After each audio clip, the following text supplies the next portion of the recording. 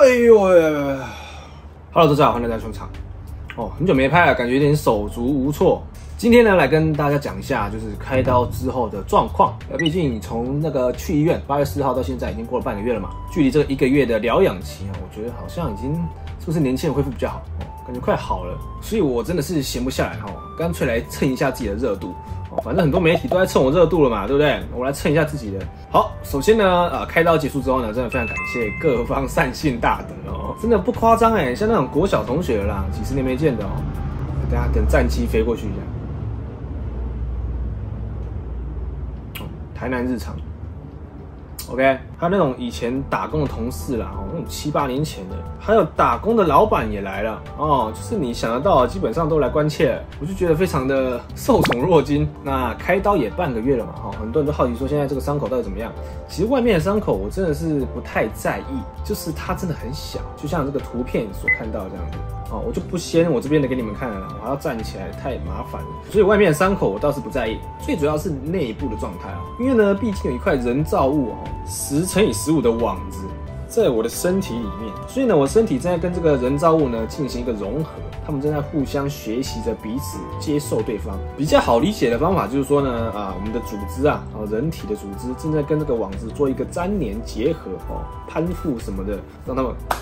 合在一起，所以呢，要让它合在一起的这段时间呢，我就不能太大力去扯它。比方说呢，我就不能哈球哈的很大力哦。像我今天就是哈球了一次，小小力真的忍不住哇，停不下，球球那一下，我感觉我的肠子什么东西都突然痛了一下啊。各位啊，这个哈球真的要注意啊。那又或者说呢啊，比方说大局部的动到这个伤部位置啊，像是蹲下哦，这护士特别交代蹲下。其实我发现稍微蹲的时候就。跟他当掉啊那样，然后呢，不能搬重物啊，不能搬超过十公斤的，十公斤只是一个大概啊，基本上就是不要让他的腹腔哈一直维持在一个高压的环境，因为他毕竟只是挡着而已嘛，网子挡着，啊你这样子一直给他顶他顶他顶他，等下要连网子顶出去怎么办？他再开一次哦，我就不来啊，我宁愿这个越乖一点。总之就是安利吧，哈，其实伤口我个人觉得没什么大不了的啊，那这一个月只要乖乖的就行了。好来，接下来讲一些比较严肃的东西，吼，这个媒体。我今天是记在于美条了，就是我大概前一阵子吧，有观众跟我说，哎，你怎么上新闻？而且上了蛮多个新闻的。更扯的是，我上了赖，大家都有赖吧？赖的新闻里面的焦点头条，你们知道焦点头条的意思就是说，他希望所有的赖的用户呢都来看这一则新闻，然后居然就是我这个开刀的新闻。What？哎，我开刀从来没有叫任何的媒体来报道过。哦，我刚把这直播杀歹机。我只是想要跟我观众有个交代，我到底消失这么久是去哪？因为这个小事情又不是总统遇刺啦，也不是什么名人自杀，对不对？哦，也没有影响到什么国安危机，对不对？把这个事情放到焦点头条，我真的觉得太夸张哈！如果我是一般人，我看到我可能就会骂，等一下飞机。哦，我可能就会开骂，但是我骂，不会是骂这个事主嘛？对不对？他也是无辜的啊！哦，我是无辜的，好不好？我没有叫他发。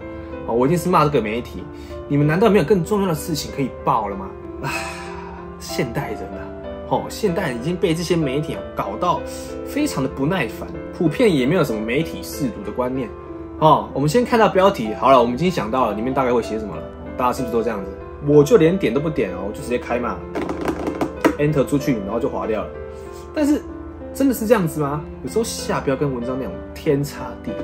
在这个博眼球的时代，哈，所有的媒体越来越嗜血，哈，他会先下一个猛标，内容怎样倒无所谓了，啊，你们只要点进去，他就赢了。我超讨厌这样子啊！虽然我是一个媒体的产出者，我大概也知道说怎么样操作可以让这个流量更大化，但尽可能我都保持着一个不要差太多，讲求一个真实。现在媒体是你他下的标，你还不能相信呢。然后上新闻真的不是什么很光荣哦。不是说很厉害的事情，上新闻反而对我来讲真的是太简单了。我到目前为止大概有几百则吧，有没有到一千？我想一下，或许有，常年累积下来的一千多则要求我授权的哦，影片内容通通拒绝。各位听好了，通通拒绝。也就是说，我有认真要上新闻的话呢，我大概已经上了一千多次了。那为什么啊？这个对大家来说好像一个很好的机会，为什么要拒绝呢？哦，不是 YouTube 应该曝光越多越好吗？其实我这个人就很不喜欢这样子啊，因为现在网络生态哈，使用网络的哦，百百种人，那种看新闻没经过脑袋的啦，那种态度很偏激的啦哦，偏激人士，你们现在随便点个文章哦下去看应该都会有。然后呢，有些匿名的哦，你像赖的下面基本上都是匿名。嘿，匿名呢公务员没虎吉林哦，而且钦差测测反正也不干他的事，人家也抓不到他。整个乱象真的太乱了，所以近期我唯有授权就是一篇华视新闻的报道，很像整个列车开在海上，有没有？美到不断赞叹，仿佛电影《神隐少女》的海上列车重现。YouTuber 林英雄亲自搭乘，体验台东多良车站的无敌美景。那一次我就觉得他们做的很好哦，你不要拿我的影片去做别的事情。不要拿这个画面去讲别的事情。我是 YouTuber，不是网红。不要把网红这个词拿来套用在任何在网络上有声量的人。这我很久以前就讲过了哈。你你这边吃大变红的也是网红，你这边拿钱去撒在那个流浪汉身上哦，这也是网红。要当网红，真的负面的太容易了。我这样随便做的话，应该很红。但是我什么没有这么做？我反而选择一条很艰辛的路在走，好不好？我为什么要逼自己这边做这个永远普及哦，吃力不讨好？其实我要是整天在骂脏话啊，然后做一些有的没的哦，那很开心这样子，干脆我也来做就好了嘛，对不对？我也来骂脏话，哎，骂脏话很爽哎，对不对？我可以开着车在路上随便朝路的骂脏话，对不对？我拿乐视去乱丢别人，拿 BB 枪乱扫射，哇！这每一次影片点击率可能都很好，反正找人来演嘛，我们不要真的就好了嘛，对不对？啊，演一演，那收视率很好，何乐不为，对不对？我干嘛挑一个永远普及，然后把我跟那些网红全部都到这会哦，统称网红，所以我其实很讨厌网红这两个字哦。华视就做的不错，他真的上 YouTuber 没有把我的影片乱用哦。说到这个，我就要来翻一下旧账了，好不好？我今天要讲的事情很多哦，反正哎恢复期嘛，我也没事干。哎，这件事情呢就要提到之前我提到一个王美，然后王美，其实我认真思考哦，我该告的或许不是这一个，我该告的应该是三立新闻，好不好？我就直接点名。那个时候，三立新闻把我的火车车厢的某一段影片，然后呢，做在他们的新闻报道上。那一则新闻报道是什么报道？是火车车厢被破坏的报道。哦，啊，你在讲一个火车车厢被破坏的报道，然后截取我的拍摄的片段。我当下只感觉到说，这到底是干我屁事啊！我还要出来澄清说，哎，那真的不干我的事哎！我影片从头到尾都没有叫大家去破坏哦，导致于后面一连串的事情发生。所以我其实告完他之后，后来发现我应该连三立新闻一起告一告的，截取影片的片段哦，因为他们有时候需要画面嘛，他们也不会亲自跑到事发地去拍哦。现在记者真的是有够烂，他想要这段影片怎么办哦？网络上去找一下，哎，有类似的啊，截取截取截取，然后来打我这个会。一个篇报道就完成了，什么鬼啊？你们这样间接的其实害到非常多人哦。像有时候新闻不是会说哦，事发，比如说这间餐厅有蟑螂好了，他们就去访问别间餐厅，再拍一下那个老板的解说啊，人家就会说哦，原来是这个老板哦。其实不是哎，是他们随便找一个老板来解说说为什么会发生这个事情。啊不会看公 A 哦，尤其现在媒体视图大家都很烂嘛，他们也不会去追究说啊那个老板是不是那个老板。所以嘞啊，他们就拿到流量做成新闻影片，钱赚到了，拍拍屁股就走了，留一个烂摊给我。真的是吃力不讨好，常常都说哦，探索台湾美景嘛，哦，介绍给大家知道。这工作原本是谁来做的？观光局嘛，各县市的观光局，对不对？那是你也逮级呢，那些旅游节目嘛，对不对？难道有人说那个旅游节目拍完之后，哎，我们就去把那个地方破坏一下好了，好不好？怪到那个节目身上？有这种事情吗？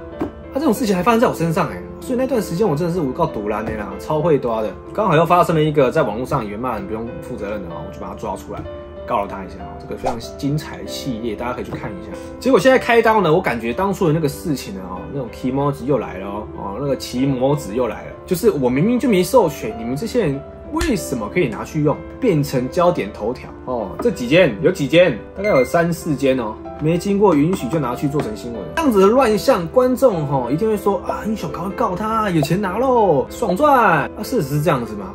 来，我问律师。原则上啊，著作权法第四十九条，广播、摄影、录影、新闻报纸啊，网络其他地方实施报道者，在报道之必要范围内呢，得利用其报道过程中所接触者之著作。简单来说，他想要报道某个事件啊，在合理程度上使用是 OK 的。什么叫合理程度？那这边这个智慧财产法院哈，一百零七年度民著数字第六十八号，打开超深奥的，你自己看。基本上法官就是具体审查啊，非常严格的去审查。所以你要告新闻媒体，你觉得告得赢吗？啊，这个是比较困难的事情。你有可能花了心、花了人啊、花了钱，最后呢变成一场空之外，媒体又把这个事情再炒作一遍，啊，再赚一波。所以你不太可能赢媒体，就是这样子。那既然呃诉诸法律行动不太能制止，那我就来用，反正我也是有一百多万嘛，对不对？我是自媒体嘛，我也可以来搞一下吧，就这几间啦，就这几间啦，哦，好不好？没有拿过授权就直接发了，没经过我的同意，好不好？这归根啊，其实以前小时候我对记者的印象是非常好的哦，在我小时候曾经看过一些纪录片，他们是呃长期追踪一些不法，比如说是卖毒的啦，哈，我曾经看过那种卧底的啦，冒着生命危险的哈。战战兢兢，就是为了挖掘真相。哎，你要知道，他报了这篇报道之后，他人生会遭受多大的危险啊！又说战地记者，随时他可能会死掉的那种。我那时候是有种觉得说，哇，记者其实是一个很酷的职业哦，把真相给挖出来，给大家知道说，原来是这样子。但现在不是喽，现在真的不是了。现在就像我刚刚讲的嘛，哦，他想要报道一篇新闻啊，我缺画面怎么办？哦，哎，你你要不给啊？哦，不给哦，不给我可以直接拿哎，哦，我就拿来。我问你，只是尊重你。哦，我直接拿也是 OK 的，变成这样子哦，所以他可以抽抽抽抽抽凑成一篇图文影音，哦，就直接上去了，流量赚一赚，拍拍屁股走掉，哦，我们的业绩达标了，一夜爽赚。现在已经变成是这样子啊，媒体身为第四权啊，它作为一个第四权啊，一个监督的角色，现在整天就像一个色老头，又或者说那种三姑六婆专门在聊八卦的哈。整天哪个小魔在海边解放啦，然后谁外遇啦，哦，什么露奶照啦，哪个女生又怎样了？哦，啊，这卖新闻系，如果你他们不挂着新闻，我倒无所谓，我就觉得 OK。比方说你的社团就叫做我们来聊八卦，无所谓啦。又或者说某个社团就是说，哎，网红聚集地啊，YouTube 吹水站什么之类的，我都无所谓。你们挂的是什么？你们挂的是叉叉新闻呢？真的没有办法可以管吗？你们真的每天都想要看这种东西出现在你的 FB 版页上吗？而且越来越夸张了。这次选举啊，如果有政治人物愿意把这个东西啊做一个改善，我就投谁啦？或者哪一天我真的想不开，我要亲自出来选了。我的证件就是一点，我把那些网络上那些白痴媒体全部把它封杀掉。你们就发现说哦，现在网络生态哦一一直朝着一个很不好的方向前进。拜托一下好不好？谁去整治一下、整顿一下好不好？如果没用，我干脆自己出来选好了啦，好不好？我来选啦！现在这个台南永康区的议员要几票才能上？八千四百一十八票就能当议员了嘛，对不对？好不好？投我啦，好不好？把那个赞按起来，按给他几倍，因为毕竟我的观众全台湾、全世界都有嘛。好，要局限在这个永康区的，好不好？我们就给他多个几倍啦！真不要逼我哎！